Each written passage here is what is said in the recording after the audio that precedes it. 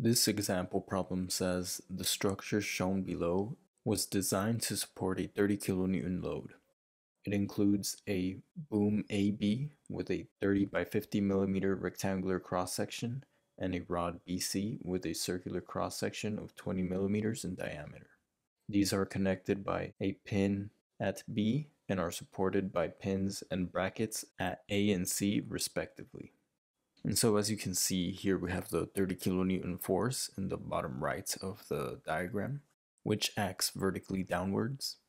And now in part A, we're asked to determine the normal stress in rod BC due to this applied force. And so in the diagram, rod BC is of course this diagonal member that runs from point C to point B. And below that is boom AB, but of course, in part A, we're focusing on rod BC. And now to begin, we know that normal stress, sigma, is simply equal to P over A, where P is the axial load and A is the cross-sectional area of our member. And now, of course, remember that axial load is simply the force that acts along the longitude direction of the member and it is particularly normal to the cross-sectional surface. So for instance, let's consider a cut perpendicular to rod BC. From this cut, we will have a geometry something like this. And so the axial load will be represented by this arrow that is normal to this cross-sectional area. So hence, that is why we get normal stress from this normal force. So now that we've reviewed normal stress, we can now move on with this problem by sketching a free body diagram of our system. And just like in statics, we will use this free body diagram to find all the unknown forces. So starting off here, I will, I will first draw member AB. So here we have just a simple horizontal line representing the boom. And then of course from the diagram, at point A on the left, and at point B on the right, we have pins. So therefore, at point A, we will have a reaction force along the x direction as well as the y direction. And then on the right, we simply have the external force of 30 kilonewtons. And now from your knowledge of statics, you may have particularly noticed that we have two force members. Since the two members AB and BC only have forces acting on their two ends just like how you can see here in member AB. And now since point B is a pin, technically we do have reaction forces By and Bx, just like at point A. And now to analyze these forces, let's go ahead and focus on just point B. So here I'll go ahead and sketch point B. Of course we have the downward 30 kilonewton force. And then Along member BC, we will have force BC. And of course, since this acts at a diagonal direction, we will need to use a slope triangle in order to resolve this force into its x and y components. And we can easily solve for the hypotenuse since we have both sides of the triangle. One is 600 millimeters and the other 800 millimeters. So now I'm just going to sketch this triangle down here. Of course, we have lengths 800 and 600, and we want to find hypotenuse C. So simply using Pythagorean theorem, we'll have 600 squared plus 800 squared equals C squared. So C is equal to the square root of 600 squared plus 800 squared, which is simply equal to 1000, and that is millimeters. So hence we have found the length of rod BC, which is a thousand millimeters. And now simplifying this triangle, we simply get a 345 triangle. So hence that is the relation of our slope triangle, which we can now use to resolve this force into its rectangular components. And of course our coordinate system is just simply x and y. And remember that this is very important to show in your sketches. And now here on the first sketch above, I'll go ahead and simply replace these reaction forces with force FBC, just like so. And so now this completes our free body diagram of boom AB. And we can now simply go ahead and solve for force FBC. And so how do we do this? Well, of course, from statics, we want to analyze our system under equilibrium, since of course this means the system is stable. So we'll just simply apply equilibrium equations to solve for force BC. And now if you notice here, we cannot start by using sum of forces in the x direction or the y direction since we have breaking down FBC into its x and y components a total of four unknown forces. So in this case we can simply use the sum of moments about a point. And now which point do we want to take the moments from? Well here we want to find force BC which acts at point B so go ahead and take my moments starting from point A and I'll assume counterclockwise as the positive direction. And remember that for an xy coordinate system, we take moments around the z direction. So the equation will be the sum of moments at A around z is equal to 0. And in the free body diagram, I forgot to include the dimensions, which is simply the length 800 millimeters, which I'll write as 0.8 meters. So now that we have the distance on there, we can now begin taking our moments from point A. So of course, starting from point A up to the next force, which is the 30 kilonewton force at point B, we get a clockwise moment. And so that is negative. So therefore, we'll have negative 30. Remember that moment is equal to force times distance. So this is the negative 30 kilonewtons times the distance of 0.8 meters. So that'll be the moment that we get from the 30 kilonewton force.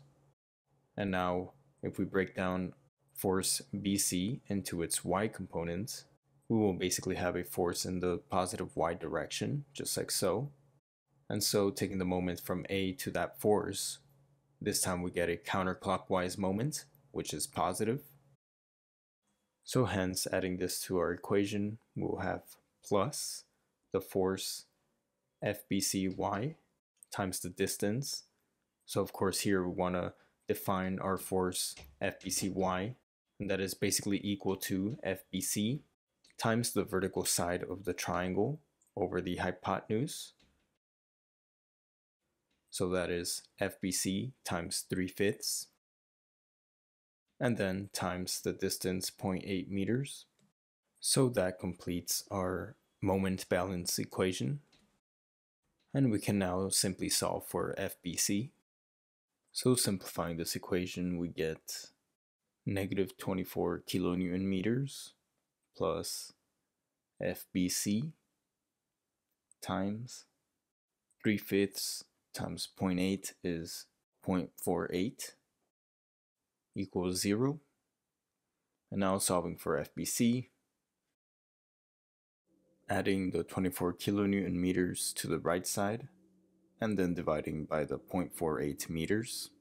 The meters cancel out, so we are left with kilonewtons as we expect, which from 24 divided by 0.48, we get 50 kilonewtons.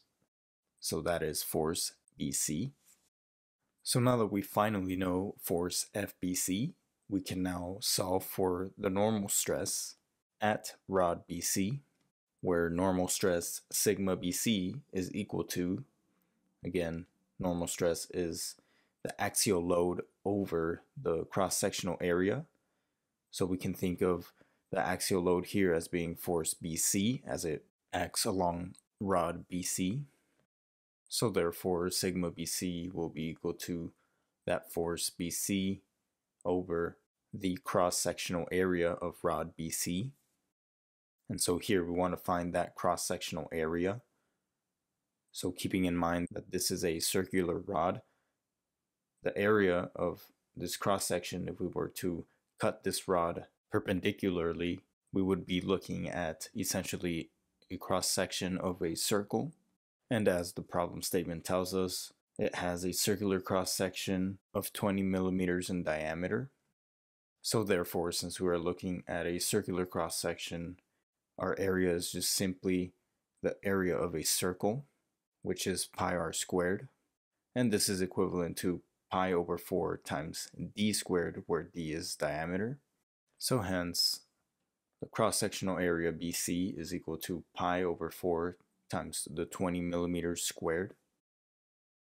So sigma BC will be equal to the 50 kilonewtons of force BC over this cross-sectional area, pi over 4 times 20 millimeters squared. Now notice here we're using millimeters in our diameter. So for the purpose of units, I'll go ahead and convert the kilonewtons to newtons by multiplying 10 to the power of 3. That way we can simply get megapascals. So 50,000 divided by 20 squared pi over 4 is roughly 159.15. And again, that'll be in megapascals, since remember that newtons over millimeter squared is megapascals. So hence, our normal stress at rod BC, sigma BC, is equal to roughly 159.15 megapascals. So this concludes part A of the problem.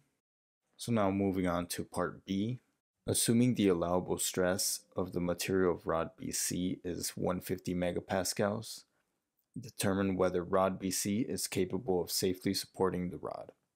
And if not, suggest one way the design can be improved to support the load.